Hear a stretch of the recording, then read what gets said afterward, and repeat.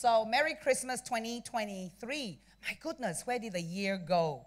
And so, uh, I wanted my message to be a bit different this morning because I think this is an aspect that uh, maybe some of us don't realize, and some of us do realize, but we don't realize the impact of it. And so, uh, did you know that there is a feast in your Bible? And the Jews call it Hanukkah.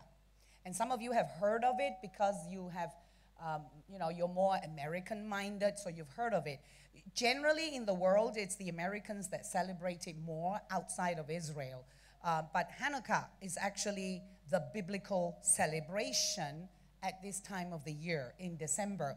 In fact, um, Hanukkah just ended recently.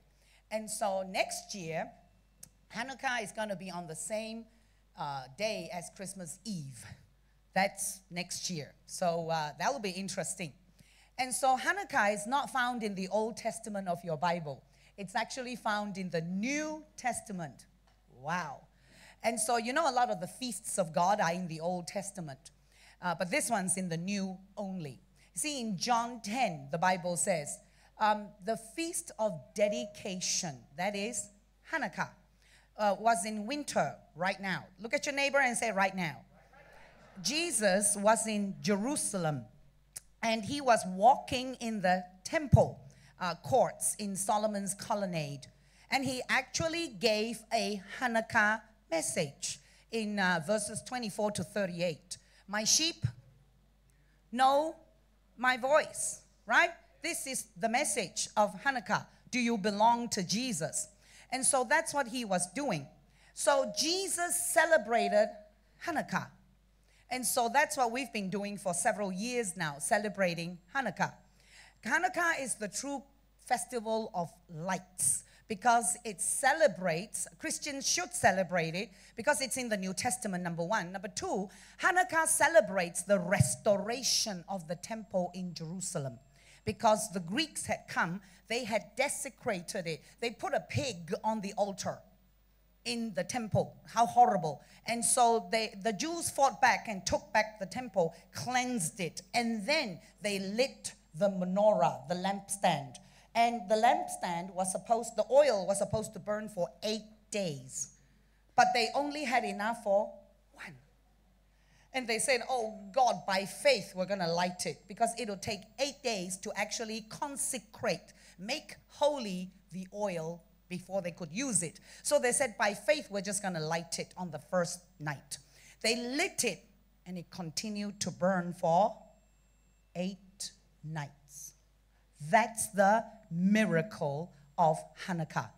And so that's why it's the festival of lights. That's why you turn the menorah, the uh, seven stem menorah, to the nine stem menorah, one for every night, and one to light the others. Isn't that amazing? And so we're not trying to be Jewish at all, but we're trying to celebrate the festivals found in the Bible because we're the people of God. We are the wild olive branch. Anyone here a Jew? I don't think so. We're the wild olive branch that was grafted into the tree of Abraham. So whatever is for the Jews is for us, the Christians. So don't hate the Jews. Anyone standing with Palestine? I want to whack your butt right now. Oh, sorry. um, because Palestine is not a true nation, it's a region. It's like saying, We're Southeast Asia, we demand our rights. You're not a nation. Palestine is an area, a territory. And God gave the land of Israel to the Israelites from day one in your Bible. And the Lord said to Abraham, Anyone who blesses you, I will bless. Anyone who curses you, I will curse. Look at your neighbor and say, I don't want God to curse me. So, whatever reports you're reading about Israel, they're not true. Someone comes to bomb Malaysia and we fight back. They say, Malaysia, you're so bad, you, you, you hit them. That's the whole thing. They bombed Israel on the eighth day of the Feast of Tabernacles, the highest, most joyous day of God's calendar. And they did that to them.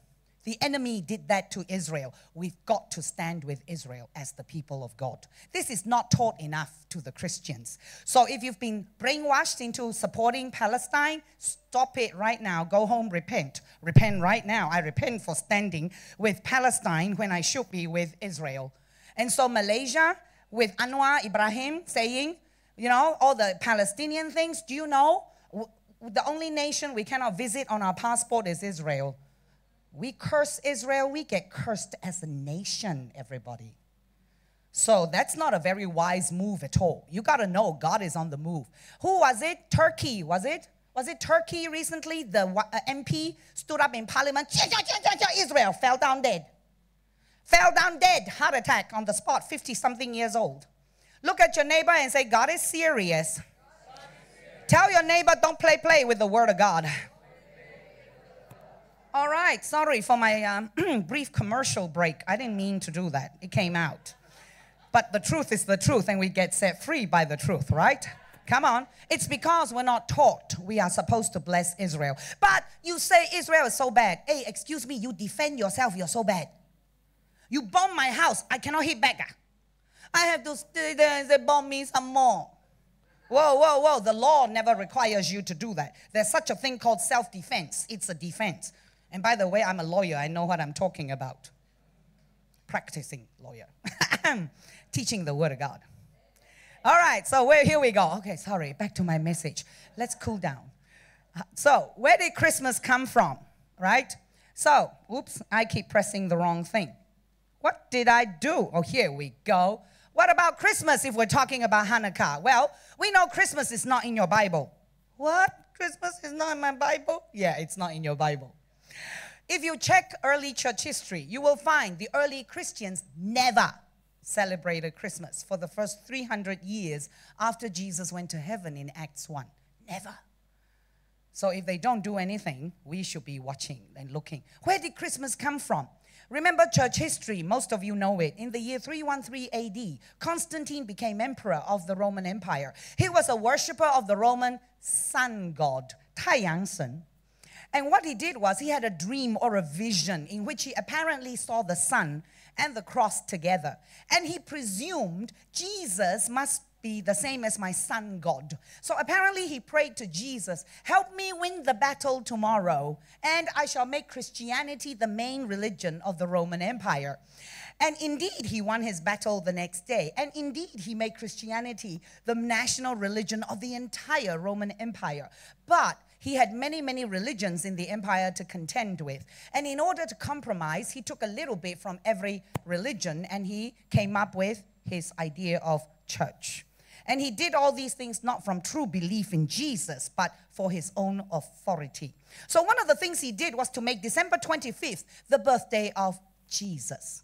In actual fact, that day, 25th of December, was the birthday of the sun, his sun god.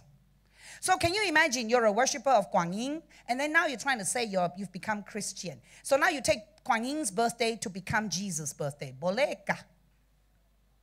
kah? Mana boleh? Tidak boleh. And that's what he did. And so we ended up with the Christmas tree, with Christmas stockings, with Christmas lights, with Christmas decorations and presents. Whoops. Now, all of which have nothing to do with the supposed birth of Jesus. Look at your neighbor and go, oh my. it's all been highly commercialized, and unfortunately, we love every bit of it. Now, is there anything wrong with that? Let's see.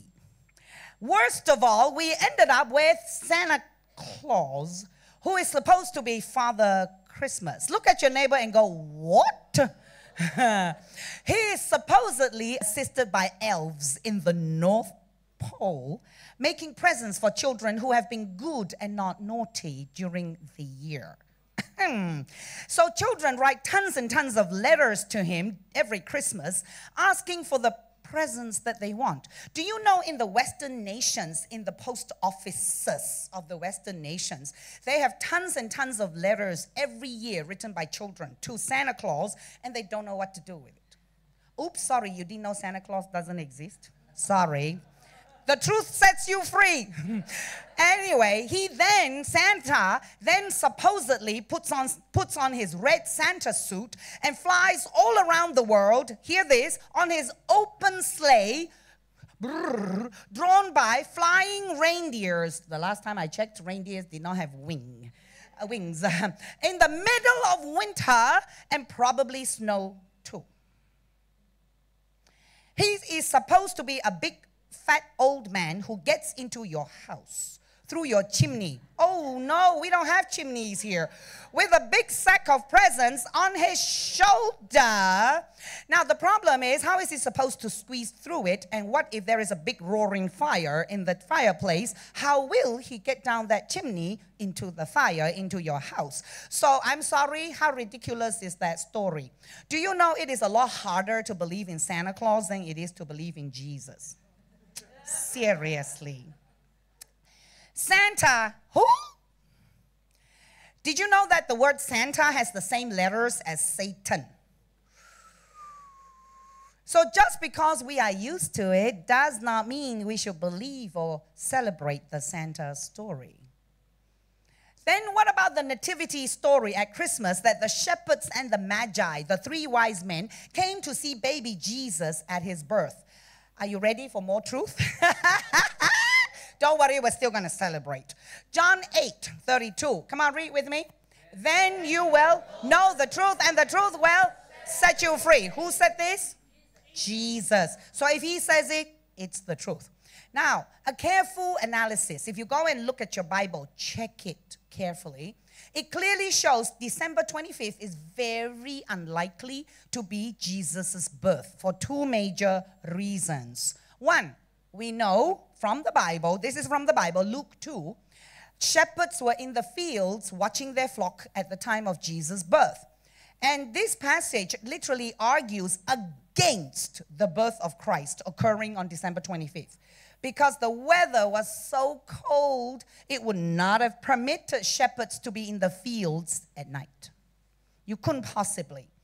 At night, some more, in winter, Shepherds were not in the fields during December because December is cold and rainy in Judea. So it is likely they would be inside in a barn or somewhere else. And Luke's account suggests Jesus may have been born in the summer or the late fall of every of the year, which is autumn. Number two, Jesus' parents, remember, they had to go to Bethlehem to register in a Roman census. Luke 2 in your Bible. The Romans said you have to go back to your hometown and register yourselves. Such censuses could not be taken in winter because the temperatures would drop really, really, really low, below freezing. The roads would be in very poor condition, icy and slippery and dangerous for travel. And so taking a census in such weather conditions would be self defeating. In other words, many people would not go back home to take the census, then the Roman government would not be able to have proper records that way. So, given the difficulties and the desire to bring pagans into Christianity, then you got to know this. The, the, the Emperor Constantine wanted to make December 25th the date for Jesus' birth to actually compromise with paganism. So, those who worshipped his sun god would find it easier to accept Jesus. The Bible says that uh, when Jesus was born, it's likely to be autumn. Autumn. Uh, and so it would be, you, how do we find that? From the birth, conception and birth of John the Baptist. Did you know John the Baptist was his cousin? Interesting, right? And so the Bible says in Luke 1 because Elizabeth, John the Baptist's mother, she was already six months pregnant when Mary conceived Jesus. And we can then calculate from there. And John's father, Zacharias, he was a priest serving in the Jerusalem temple during the course of Abijah, Luke 1. And so if you calculate that, that would correspond to June 13th to 19th that year. He would be serving at the temple. You know, the priests had a roster that you would go this time, I would go that time, etc. Right? And it was during this time the angel appeared to Zechariah and said, Your wife is going to conceive a baby. And he went, What? We are both so old. And the angel said, "Mm, Because you do not believe, you shall not be able to speak until he's born. Oh my. So indeed, he had the message. And, and the angel said, When he's born, you're going to call him John. Ah, no one in my family is called John. that was the message. So he went home, and if if we look at it, imagine if he went home and he got to work straight away, uh, following the angel's directions, and um, imagine that Elizabeth will conceive literally at the end of June, and if you add nine months to that, John the Baptist will be born at the time of March. So if you add another six months, remember he was already six months in the womb when Jesus was conceived, right? If you add more time to that, Jesus' likely birth is actually September, no later than our time, October, because it is the Feast of Tabernacles. When God comes to tabernacle with us, He comes to dwell with us. In other words, you cannot have, if you are the God of the universe, would you have your son just chin chai born anytime? Chin chai you would have your son born June. Very specific, important date. And the Feast of Tabernacles is the time when God comes to dwell with his people in the tents in the wilderness. Remember that? And God commanded them, celebrate it every year to remember, I come down to dwell with my people. Build tents for me. And that's the time Jesus came because the word of God says in John 1 and the word became flesh and dwelt among us. So that is likely to be Jesus' birthday, September slash October, because our calendar is not the calendar of God. God's calendar follows the moon, the world's calendar follows the sun. So, therefore, this date is not Jesus' birthday. Oh, what about the Magi? Well, you all know the three wise men. Did you know if you check your Bible, it never mentions three? Look at your neighbor and go, oh my. the Bible simply says, wise men from the east. Matthew 2 1. And so they were most probably from Babylon, where Daniel had been commanded by the king of Babylon to actually teach them the times and seasons of God. So he had to train the astrologers, etc., right? Those who performed these, uh, you could call it magic for the king. And so they were the spiritual hoo hoo people. And by the time the Magi came to G- see Jesus, it was likely he was about two years or older. So the actual thing is, he did not, they were unlikely to see baby. They probably saw a toddler already. Just because Matthew 1 says she gave birth to a son and gave him the name Jesus, Matthew, uh, sorry, Matthew 1 says that Matthew 2 starts by saying after Jesus was born in Bethlehem in Judea, does not mean it's the same time frame. Mm. Why? Remember, it took a long time to travel in those days. Excuse me, you got to travel that way, you know. And so, one place to another, you either walked or you came on donkey or horse or camel or something, right? And so, just because Magi saw the star when it rose, Matthew 2 2, did not mean they would immediately know where to go. They would have to check all the records of the Word of God for where the King of the Jews, the Messiah, would be born. And so after all of that, they would have to travel from the east. So again, December, seriously, you want to go on a camel to travel in December in winter? No. And so it'll be too cold to travel. So it was very unlikely. And so Robert Heidler wrote a fabulous book called The Messianic Church Arising. In the book, he says this Some people think if we celebrate biblical feasts like we do, we celebrate all the biblical feasts. We, uh, and, and why do we celebrate biblical feasts? Because the Bible says, for generations after you, you shall celebrate these feasts that God has ordained. Not humans, but God has ordained. And remember, we are the wild olive shoot grafted, grafted into the tree of Abraham. So whatever God ordained for the Jews is for us. We, I'd rather celebrate God's feasts than the feasts of the world. So some people think if you celebrate biblical feasts, you must celebrate, uh, stop celebrating traditional ones like Christmas. My and Robert says his belief is as followers of Jesus, we are free. Tell your neighbor, free. free. To receive Christmas as a wonderful celebration of God's love. And so the Lord has never led Robert to teach against traditional holidays, but to present the blessings of the biblical ones. Now, where they are, they're at GOZ, Glory of Zion. This is Apostle Chuck Pierce's church. Uh, they really, really celebrate the biblical feasts, but they also have a wonderful time at Christmas. While Christmas is not part of God's original cycle of feasts, there is good biblical precedent for adding new holidays to celebrate the great works of God. Imagine God did a wonderful work in your family. Imagine He healed somebody, like, you know, the doctor said she'll die, but then the person was really healed. You could celebrate that date every year. God, uh, God healed grandma or whoever, right?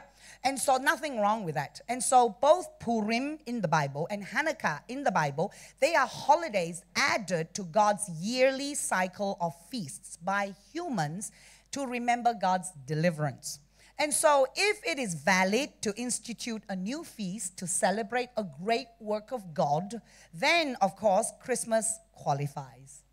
Tell your neighbor, ooh, right? Also in the book, he said, while there is good evidence Jesus was not actually born in December, it's not wrong to celebrate Jesus' birth at Christmas. Tell your neighbor, phew. Read with me loudly. It's always a good time to celebrate Jesus. Amen. See, Christmas provides a wonderful opportunity to remember God so loved the world that he gave his son. John 3, 6, uh, John 3 16. Now, while the traditional date of Christmas probably had pagan origins because it was the birthday of the sun, I believe we are free to redeem the date and just use it to celebrate God's love for the world. Anything wrong with that? Nothing whatsoever. So in Robert's family, they celebrate both Christmas and Hanukkah, a double celebration, and so do many of us, right? Now, some more in the book. Many people ask him, Is it okay to have a Christmas tree? Is it okay?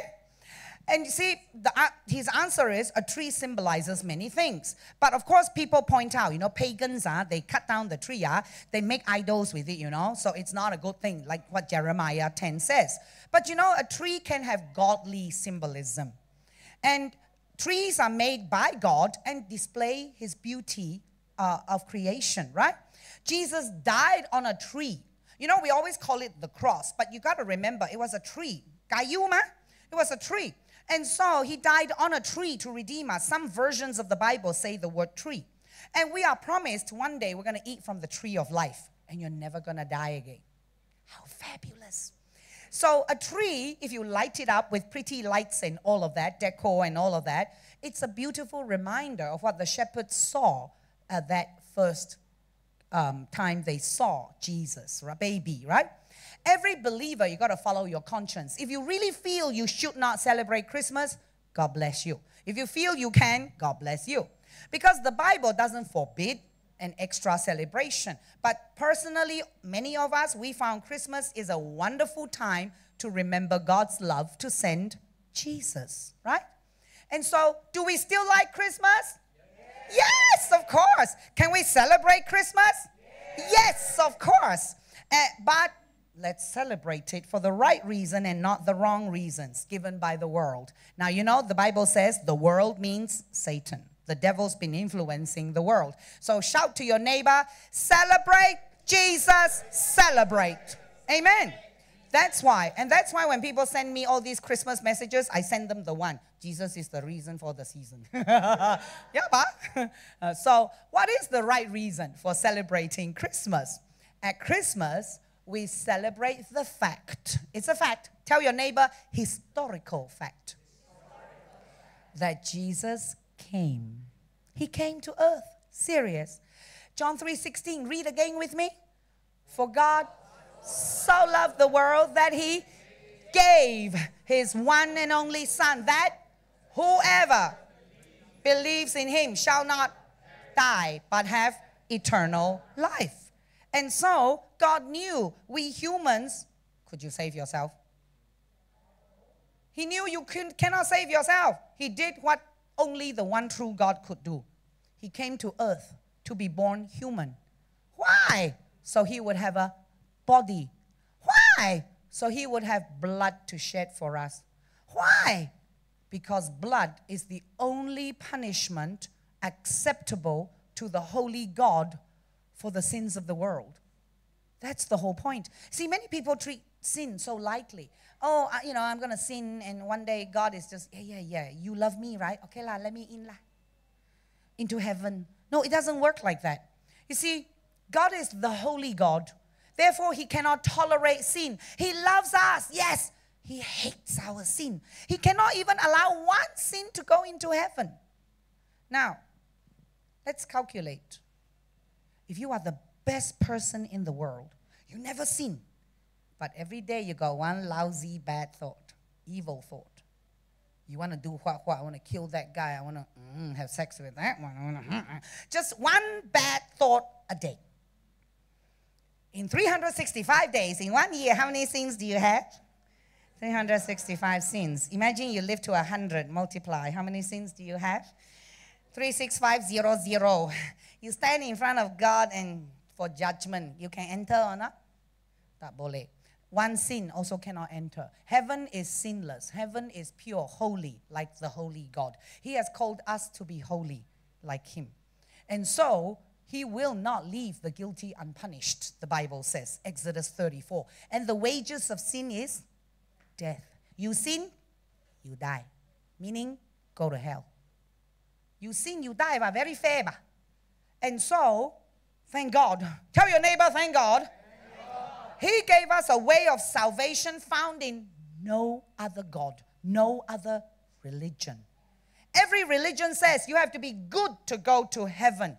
Christianity is the only one that says you can never be good enough to go to heaven.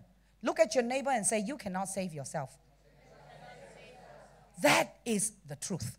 You cannot save yourself. You see, you're so good, one lousy thought, you're done.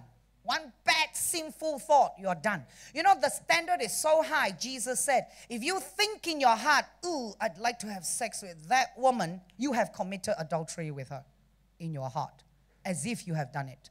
That is how high the standard is to enter heaven. And so there's no way you're going to save yourself. And you know what I always say? If you can save yourself, you're so good, you must be God. Let me worship you. No way. There is no way. You're a sinner, I'm a sinner. That's it. And so God knows we cannot save ourselves. You know what the Bible says? We are only made of dust. You know, you're not even made of earth, soil. If you were made of earth or soil, uh, when you die, uh, we can use your body to plant flowers. We can sell your body for earth, you know.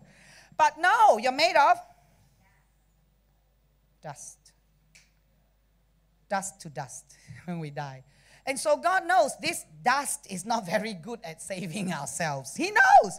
You just can't. Oh, excuse me, how do you know I'm made of dust? Everybody. Hey, I mandi twice today. Oh. Still God. You're made of dust. We are nothing until God breathes life into us. When He takes the life away, we go. That's the whole point. So life is given by God. So the one true God did for us what no other God did. He came to die on the cross on our behalf so we would not have to die for our own sins and go to hell. That's the whole point. The other gods tell you. There was one time I was preparing this, and the Lord said, Do this, tell everyone. The other gods tell you to be good in order for you to go to heaven. But you know what the other gods tell you? They say, You be good, huh? You keep worshiping me, huh? But you be good. And you go heaven by yourself. Good luck. Whoa, whoa, whoa, I worship you. All. You cannot help me go heaven. No, no, no. You, you, you be good. I asked the Muslims one time, I asked a few Muslims, how do you go to heaven? We don't know. Huh?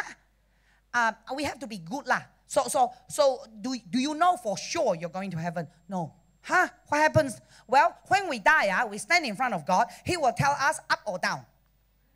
I said, what? If it is down, that's our fate. Muslims believe in fate. That's our fate, Lord. Like, too bad for us, Lord. Whoa! Look at your neighbor and say, I don't want that. The Bible says it is written so you will know. You gotta know. And then you, and then you, when time comes, you say, God, I'm ready. You cannot be like, I don't know. Oh, I hope, I hope I'll go to heaven. oh, I think I'll go to heaven. You cannot do that. This stuff is real. Jesus talked more about heaven and hell in all the four gospels than any other subject. He talked, he gave stories, talked about it, taught it more than any other thing. Why? Hell was never created for humans. It's the worst place. Any one of you still believe hell has 18 levels like the Chinese believe? That's a big fat lie. You know, you know, Chinese think like this. I'm not so bad. He's worse than me. He's going to the deepest one. I'm going to, I'm going to the top level. I'm not so bad. I'm a little bit bad only lah. So I got top level. Top level is I got mahjong to play. I can drink wine. It's just a bit warm lah because heaven is, uh, hell is hot lah. But he, uh, he go to the burning one lah. He, he, he, he bad. Oi, there are no 18 levels of hell. It is not in the Bible. The Bible says hell right now is pure darkness. Pure darkness. We actually have a man in, in, in Cebu who went to hell 11 days and, and then woke up and tells the story. Hell is pure darkness right now. He was, he, his wife had intercessors pray, pray, pray, pray for him for 11 days. Finally, he woke up in his hospital bed and he says, I've been to hell and back, and I am so scared now. He had the fear of the Lord. His whole life, he had no fear of the Lord. He suddenly had the fear of the Lord and began to worship the Lord for the first time in his life. A very rich businessman in Cebu. And so hell is real. But the Bible says there'll be a second hell. And the second hell is the one with fire and worms to eat your flesh daily. So it's burn, burn, burn, eat the flesh. How enjoyable is that? Does that sound like mahjong? Wine? Or for the Muslims, nine virgins to serve you? It is not like that. That's the lie of the devil. And so we got to know the truth. Hell was never created for us, it was created for the fallen angels who knew and saw the glory of God in heaven and yet rebelled against Him. So they would be cast down, definitely. But if you choose to be on the side of the devil, it's very fair that you go to hell with him. So it's your choice. God created humans the highest of all his creation. He gave us choice. We're not robots. Yes, master. Yes, master. We're not robots. We are we were created with choice. We think like God, feel like God. We are able to do things like God. We hear him. We say what he says, do what he does. Or if we hear the devil, we'll do what the devil does, then we'll say what the devil says. So this is the whole point. So Christmas is a wonderful time, but you got to remember the purpose for all of this. Amen. So if we were to die for our own sins, it'd be over. And so the other religions do not help you at all. So there are not many roads to heaven. I used to think there are many roads to heaven. The Muslims go to heaven, Buddhists go heaven, whoever go heaven, Christian go heaven, atheists also go heaven. No, no, no, no, no. Jesus says in John 14, 6, I am the way and the truth and the life. No one comes to Father God except through me, Jesus. Why? He's the only God who died for you. No one else died for you. Every all the other false gods tell you do it yourself. Good luck, but keep worshiping me, okay? That's not what we should be doing. So shout to your neighbor, Jesus is the only way. So am I saved if I go to church? I go to church every Sunday, you know. When you walk into McDonald's, do you become burger? No. When you walk into KFC, do you become chicken? No. How come you walk into church, you become Christian? Huh? Ah? Logic, right? This is how you become saved to go to heaven. Every person has to receive Jesus themselves as their personal Lord and Savior. Why? The Bible says in Romans 10 if you openly declare, say with your mouth, Jesus is my Lord, and you believe in your heart, God raised him from the dead. He's not dead on the cross anymore. He's not dead in the tomb anymore. He is seated in heaven at the right hand of God. You will be saved. So it's a two part thing. One, say with your mouth. Two, believe in your heart. I cannot examine your heart, but I can hear the words of your mouth if you will say it. So there are Christians, uh, there are people when they receive Jesus, they say, I shy lah, I, uh, I won't say lah, I say my heart. No. The word of God is openly declared. Why? You got to hear it. The devil has to hear it and leave you. The, and God and the angels have to hear you and come near to you. Okay, they can hear you. God can hear your thoughts and the prayer of your heart, but it is good to declare. The Christianity is a faith by declaration. You declare, I declare I now belong to Jesus. Devil, get away from me. Don't touch me. That's your faith, and that saves you. It is by believing in your heart, you and God become reconciled. It is by openly declaring your faith, you are saved. So you got to open your mouth to become saved. Come on. Have you ever received Jesus as your personal Lord and Savior? Have you ever said with your mouth, Jesus is Lord, and believed in your heart, God raised him from the dead? If you have, Romans 10 9 promises you, you are saved. Hallelujah.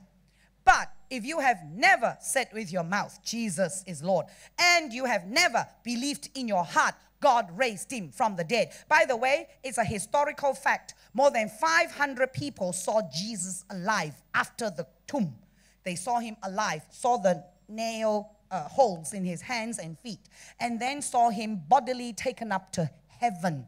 It's a historical fact that he raised from he was raised from the dead. Or you're not sure if you ever did that. This Christmas we invite you to do so now so that you receive the best present of all, the gift of eternal life and salvation provided by God Himself.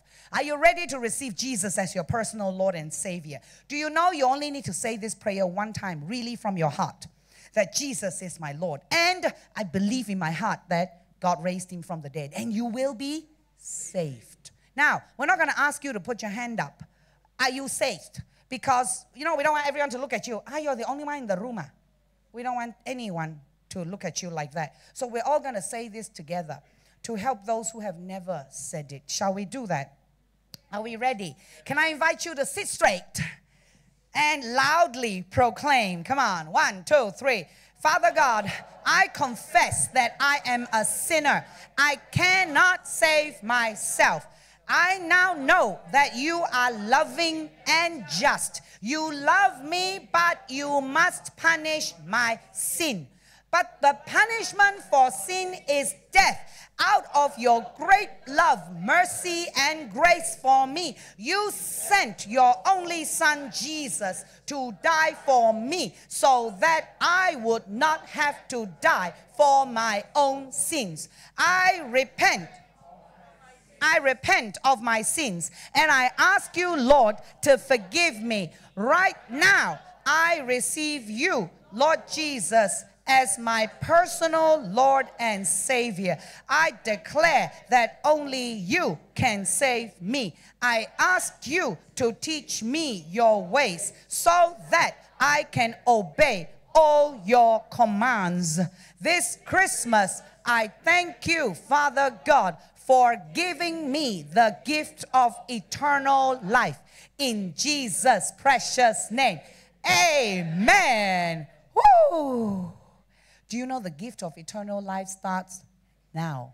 Not when you die, you go to heaven. It starts now. The moment you receive Jesus, everything you do on earth earns you rewards in heaven. Did you know salvation is only step one? After this, you got to do things God's way, speak His way, feel what He feels. Why? Because then you get rewards. You don't want to go to heaven and then you got zero rewards. And then you become Panjaga Pintu in heaven. I don't want to spend eternity doing that. Do you know the life on earth is so short compared to eternity? Eternity with God or without God is the choice we make in life. After we die, too late. Because when you decide that, you're going to spend eternity somewhere. You don't just poof, disappear. That's too easy. There are consequences for how we live life here on earth. And so, eternity is a long time. Let me tell you how long forever and ever and ever and ever and ever and ever and ever and ever and ever and ever forever and forever forever forever. No stop. It doesn't stop. It does not end. So I definitely don't want to spend even one minute burn, burn, burn, worms eat, burn, burn, burn, worms eat. Oh, oh, by the way, the Bible even says this. You know, hell is even worse than that. You think burn, burn, burn, worms eat, not so bad? Let me tell you one other thing. No friends. You are alone. In hell, you burn alone. That in itself is going to make people go cuckoo. You will go crazy just because you're all alone for eternity. That happening. So you don't have to have, uh, you don't have to be very smart to know you don't want to go to hell. You don't have to be very smart. You just have to know, oh boy, I don't want that. And the lie of the devil is you get to heaven, you sit on a cloud, play a harp, and eat grapes. How boring is that? The Bible is very clear. We rule in heaven with Christ. That sounds much more interesting than sitting on a. Hmm. You understand? So it doesn't take more than two brain cells to know you don't want to go to hell and you definitely want to go to heaven. Even if you're just going to sit on a cloud and eat grapes and play the harp. It's still better than bun, bun, bun, worm, worm, worm, and no friends. Amen. Look at your neighbor and say, Let the truth set you free. So if tonight the world ends, will you be in heaven? Yes. That's your assurance. Be not like the Muslims. I don't know. I stand in front of God. He tells me up or down, Lord. Too late by then. Amen. So, what's the right reason for celebrating Christmas? At Christmas, come on, at Christmas, we celebrate the fact that Jesus came in bodily form. The gift of eternal life is better than any present you are ever going to receive on earth or at Christmas. So we rejoice because of that. Amen. Indeed, come on, shout with me. Joy to the world, the Lord is come. That is, that is what we have to understand at Christmas and any other time. I don't mind celebrating the birth of Jesus at Christmas or any other time. I love it. I walk into the shops and they go and they're playing Joy to the world. Yeah, okay, okay. The Lord is coming. Yeah, yeah, my Lord, my Lord. Yeah, my Lord. you celebrate my Lord, Bagus. Go and do it as long as you're playing these songs that say Jesus, the Lord, uh, I'm happy. You can celebrate Him anytime, right? So everyone shout this again. Come on, louder. Celebrate Jesus. Celebrate. Amen. Whole year, 365 days, you can celebrate. So, what is the right reason for celebrating Christmas? Jesus, the Son of God, the only Son. By the way, if I were to die for you, ooh, uh, what Chinese say what? Uh, 这么伟大. You understand? Oh, you uh, make such big sacrifice for us. Yeah, yeah, I die for you. But if I were to send my son, and I only have one son, if I were to send my son to die for you, you know how much that hurts me? Way more precious than my own life. I can die for you, but my son, no, no, no. But God sent his most precious. He has nothing higher than his son, nothing better even though the whole universe belongs to him, his son is the most precious. And he gave that one son that we would live. That we would live. That's the whole point. And that's why you got to hear the truth, embrace it, and say, God, yes, I need you, Jesus. And not, I'm okay, oh, I'm a good person, but what's wrong? What are you saying? Do not do that. There is no other way. There is no other way. He came specifically from this wonderful, beautiful baby at Christmas that we always love to celebrate to this. He came with a purpose to die. If he did not die, oh, woe to us because there is no other way. He took stripes on his body. That's the true picture. The Bible is clear. He took stripes on his body. They beat him up so bad, he had blood everywhere. So, any of you who keep seeing the beautiful pute pute cantik cantik Jesus on the cross, eh, itu bukan cerita benar. That is not the true picture. The true picture is this. He was beaten so bad. Why? Isaiah says he has to be beaten to take all your sickness on him. So he didn't come just to get you to heaven eventually, ticket to heaven. No, he came so that you would not have to carry sickness while on earth. So the gift of salvation, the eternal life, the blessings, the benefit starts the moment you receive Jesus. And so he had to endure that first before dying on the cross. That's why he was so weak, he couldn't carry the cross himself. He was so beaten until the Bible says, tidak macam orang lagi. He wasn't human anymore. The way they beat him up, that is already considered pretty. pretty. So that baby that we celebrate at Christmas came to die. The purpose, sole purpose to die for us, so we would not have to die. And the Bible says Jesus considered it and said to Father God the night before, If possible, take this cup of suffering away from me. If possible, but not my will be done, but yours. He submitted to Father right to the end. Was it easy? No. He was 33 years old in the prime of life and he gave up his life for us. Why? Elsewhere in the Bible it says that he gave, he decided to go for it for the reward, for the benefit of the multitudes that will come into the kingdom of God. For that. He said it was it's worth it for all the multitudes of people that will be saved because of what I do on the cross. And he endured it. It was not easy. It was the hardest thing anyone ever had to do. And he did it. And no one else could do it. I going up on that cross for you, no use. I'm as sinful as you are. No one else could have done it except God Himself. Jesus is God, like His Father. Amen.